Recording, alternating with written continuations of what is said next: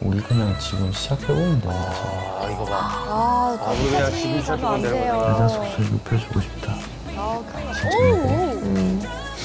잘 만났으면 좋겠다라는 생각이 되게 많이 들었어. 되는데. 음.